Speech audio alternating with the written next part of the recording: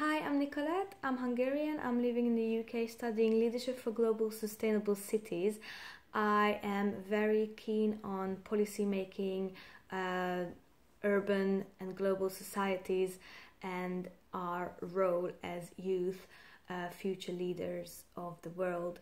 We should be aware of our rights and uh, we should be actively engaged in the conversation which will be shaping our future, and it would be a great opportunity to participate in the council.